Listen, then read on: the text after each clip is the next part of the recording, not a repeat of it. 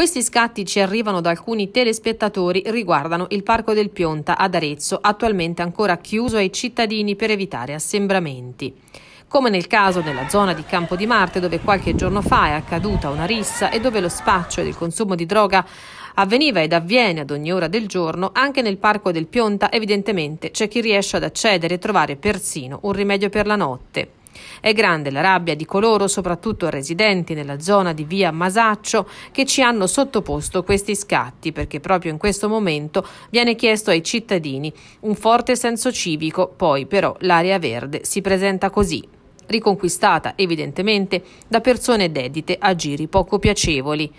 Dalla zona di Campo di Marte ci arriva invece un feedback positivo da parte dei residenti. Stiamo vedendo finalmente la presenza delle forze dell'ordine, ci dice un cittadino al telefono, che in questa zona funge da importante deterrente nei confronti di coloro che invece si erano riappropriati di questa area per lo spaccio e il consumo di droga. Speriamo che questa presenza sia stabile nel tempo. In realtà sono alcuni giorni che la polizia locale insieme alla Polizia di Stato sta facendo azioni mirate proprio su Campo di Marte, proprio per combattere questa piaga dello spaccio diciamo, che c'è durante tutto il giorno e sono stati fatti anche dei fermi eh, significativi, quindi certamente intensificheremo comunque i controlli, ma non è che siamo fermi e ce ne eravamo scordati.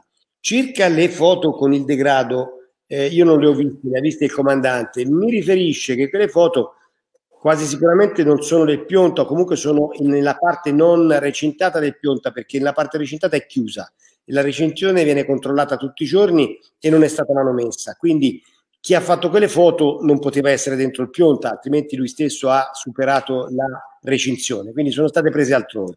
Ciò non toglie che l'area sia attenzionata in maniera particolare, però al di dentro, al, all'interno di quella che è l'area recintata non ci risulta ci siano né presenze né degrado. È chiusa, quindi in realtà non sappiamo nemmeno eh, come esattamente si trovi. Sicuramente saranno stessi, nelle stesse condizioni in cui l'abbiamo lasciata quando abbiamo chiuso tutta, la, tutta l'area, perlomeno quella comunale che è recintata.